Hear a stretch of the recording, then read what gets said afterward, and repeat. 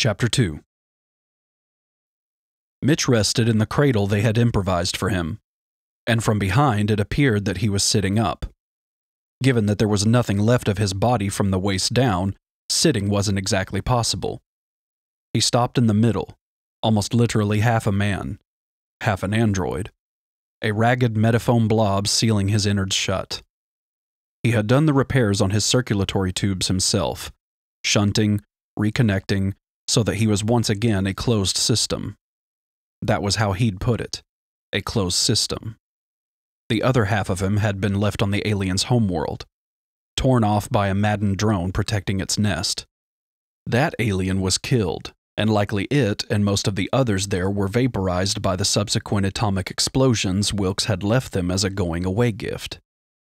A man torn asunder as Mitch had been would have died on that hellish planet. From blood loss or maybe shock. Androids were built better. He heard her come in. This was the starboard computer access compartment, smaller even than the place where she'd just left Wilks. He heard her, but pretended he had not. Mitch? He shook his head. I can't get past the operating system, he said. Navigation access code is 65 digits, backed up by a second code of 40 numbers. It would take forever to get it, given the hardware I've got. And where are the other ships? We left Earth in the middle of an armada. They should be somewhere around here, but they aren't. We're alone. It doesn't make any sense. She moved to stand next to his cradle, resisted the impulse to stroke his hair. It's all right. No, it isn't all right. We don't know where we are, where we're going, if we'll even get there alive. I have to. It's my function to. He trailed off, shook his head again. Billie wanted to cry, something she'd done more of in the last week than ever in her life. His function. She'd fallen in love with an android. Worse, maybe, he'd fallen in love with her. He was having more trouble dealing with the feelings than she was. When they'd gone into the sleep chambers, she'd accepted it, believed it would be all right, somehow. But when they'd come out, something had changed. Some of it was him, some of it, she had to admit, was her. She didn't think she was one of those people who carried her prejudices around like a club, bashing those who disagreed with her. She'd always paid lip service to equality. A person is a person, no matter if they're born of woman, incubated in an artificial womb, or made in the android vats. Where you came from wasn't important, only where you were going. Spend too much time looking back, you'd run into something and brain yourself, right? She had always said that. Androids were people. Yeah, but would you want your sister to marry one? Would you want to marry one yourself? Jesus. He hadn't told her, that was his main crime. She'd only found out after they had become lovers, after she had let him into her heart. That hurt. She hadn't thought she could ever get past that, but amazingly, she had. Or so she had thought. But now? It wasn't just that he was less than he had been. With the proper facilities, Mitch could be made whole again, as good as new.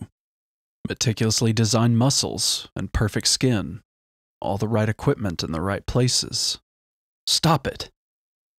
No, there was something else going on here, and Billie didn't know exactly what. The man, artificial or not, she had fallen in love with wasn't the same as he had been. Something inside his mind was different. She wanted to understand, wanted to give him all the slack he needed. But he had become someone else, a cold, fearful person who wouldn't let her in somebody who didn't want to hear about her love or anger or needs, hiding behind his wall, hands over his ears. Still, she kept trying. Mitch, listen, I. Now she did reach out and touch his hair. It felt as real as her own. Was real in that it had grown from his scalp the same way, was made of a protein so similar only a microscope could see the difference. Don't, Billie he said. She felt the words like a blast of frigid air, so cold it took her breath away. How could he do this? not talk to her. Billie, please, try to understand. I. I'm not trying to hurt you. It's. It's just that I don't. I can't. I. I'm sorry. I'm tired, Billie said. I'm going to try to get some rest now. She walked away, nearly tripped as the faux gravity fluctuated a hair. They'd had problems with that. Nobody thought a robot ship really needed gravity in transit, and that system, like many of the others, had been rigged by Wilks before they lifted. To hear him tell it, if somebody sneezed too hard, the ship would break up. The storeroom she used as her sleeping quarters was private, a 3 meter by 2 meter box, but since it was next to the ship's internal power and heating system, it was also hotter than most spots on board. She stripped to her undershirt and panties, lay down, and leaned back against the bulkhead that served as a pillow. Sweat slid down her bare skin, dampened her clothes, and made her feel sticky. Still, it wasn't unbearable, and it was damn sure better than the company she'd have to endure otherwise. She was dozing when Wilks appeared in the doorway. She hadn't bothered to slide shut the hanging curtain she'd rigged. His sudden presence startled her. Oh, make some noise when you move, Wilks. You scared me. He stepped into the room, his feet nearly touching hers. She sat up, drew her feet in. He'd seen her naked, but something about the way he stood there made her nervous. Everything scares you, Billie, he said. She blinked sweat away, wiped at her eyes. What are you talking about? He moved closer, knelt, reached out and caught her shoulders. When you were a kid, you were scared of dying. Later, you were scared of living. Jesus, Wilks, back off. He slid his hands under her shirt before she could react, cupped her breast. And you've always been scared of me, he said. Her shock turned to anger. She grabbed his hands, pulled them from under her shirt. God damn it, what the hell do you think you're doing? He grabbed her wrists, leaned against her. His face was only centimeters from hers now. She could smell his sweat, his musk. You really prefer that thing in the computer room? Wouldn't you rather be with a real man? One who has all the right equipment? She felt something hard poke into her belly. Christ, was he going to rape her? Wilks, stop it! Why are you doing this? He jerked back, his face gone slack for a beat, eyes closed. The lids snapped up, and an infernal light shined from his pupils at her. He grinned. Why? Because I'm going to make you face yourself. What you're afraid of. Love, passion, caring, people? Billie looked down and saw that the bulge she'd felt wasn't what she'd thought. It was his belly. Ah! With this scream, his abdomen burst outward in a spray of flesh and gore, and a full sized adult alien came forth. Impossible. It wasn't physically possible. It smiled at her, showing the sharp carnivore's teeth. Slime and blood dripped as it reached for her. Wilks! Billie sat up, alone in her cubicle. Her shirt and panties were soaked with sweat. Her hair hung limp. Oh, fuck. A dream. Only a dream. But she knew better. It wasn't a dream. It was a vision. A communication. It was too real. It went too deep. They were here. On the ship. Billie grabbed her clothes and ran. Wilks was fiddling with the program that ran external pickups, hoping to figure a way to magnify images visually when Billie rushed in. She was half into her coverall, drenched in sour sweat. There wasn't much water on this tub. They probably had smelled a little overripe. Even Bueller, who had sweat glands that did a fair imitation of human ones. He was in the other seat, having hand walked in earlier, dragging his little plastic cradle behind him like some beggar from the streets of West LA. Wilks, they're here! On the ship! She grabbed at his shirt. Take it easy, take it easy. You saw one? She dreamed about it, Bueller said quietly. Billie turned and glared at him, as if he had violated some secret between them. It wasn't just a nightmare, Wilks. I felt them. Remember the spacefarer alien who saved us? How I could feel his hatred? Yeah, the Elephant Man, scavenger of doomed races. It was like that. I can still feel them. It's like some kind of light touch against my mind. I can't quite put my finger on it, but it is there. Wilks shook his head. The kid was stretched too tight. They all were, cooped up on this bucket. They'd been through a lot. The stress had to come out somewhere. He'd been doing sets of push ups and chin ups and squats every day until he couldn't move anymore, trying to burn it out of himself. Look, Billie, it doesn't make any sense. Where's the gun, Wilks? If you won't help me find them, I'll do it myself. Wilks looked at Bueller. The android looked away. Dealing with emotional women was out of his territory. Wilks knew that. Like it was something he knew how to do. Christ, women were like another species sometimes. He didn't understand them at all. Well? All right. You want to play Marine? We'll play Marine. But I'll keep the gun. We've only got part of one magazine left. He stood, moved to the locker where he'd stored the carbine. He'd locked it securely away, along with the pistol he'd had before they went into the sleep chambers. He should have collected more ammo, maybe another couple of M41Es before they lifted from Earth. A good Marine always armed himself as best he could when he could, but time had been a little tight. When your choice was hurrying to catch a ship leaving, or staying to face either an atomic fireball or a hungry monster, you didn't dick around looking for spare ammo. He did have a couple of grenades for the under the barrel launcher of the carbine, but those weren't much use on a vessel cruising through hard vacuum.